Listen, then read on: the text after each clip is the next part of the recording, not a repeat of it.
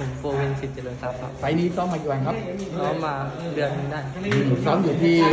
สิทธิ์เจริญทรัพย์ครับที่ไหนนะที่อยู่คลองอยู่คลองสามมีใครมาเป็นคู่ปั้งคู่ซ้อมบ้างที่นั่นก็มีเพชรสังคมมีน้องๆในค่ายอยู่ก็พวกเองค่ายช่วยกันเนาะใช่ ตอนนี้เราอายุเท่าไหร่ละสิบเก้าครับเราสูงเท่าไหร่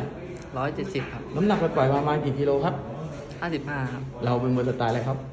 ฝีมือครับ แล้ววันนี้เราเจอกับรถเหล็ก ใช่ครับไม่เคยเจอกันเลย ไม่เคยครับ อันนี้เป็นไฟล์แรก ได้ศึกษาเกมการต่อยเข้ามาปะเคยดูอยู่ครับเขาเป็นมวยสไตล์อะไรพอรู้ไหมมวยเข่าครับแล้ววันนี้เราจะวางเกมวางแผนไงก็ดูตามเกมครับก็ค่อยๆไปเรื่อยเนาะครับผมอย่างล่าสุดนี่เราก็ต่อยไว้ที่นี่ไหมวันนั้นใช่ครับวันนั้นเจอใครมาเจอกับอองซานครับเป็นไงวันนั้นชนะครับชนะเข้ามาวันนั้นเวทเท่าไหร่ร้อยสิบหกครับแล้ววันนี้ต่อยร้อยร้อยสิบสี่ครับมีปัญหาเรื่องน้ำหนักไหมไม่มีครับคิดว่าถ้าเข้าไปสอบแล้วน้ำหนักจะเป็นไง ก็ อาจจะเกินนิดนึงครับอ๋อก็คือเหมือนมาวิ่งออกกำลังกายหน่อยใช่ไหมมายืดครับมายืดกล้ามเนื้อลยครับครับผมอืมยังไฟล์นี้เราคุมคุมมาประมาณกี่กิโล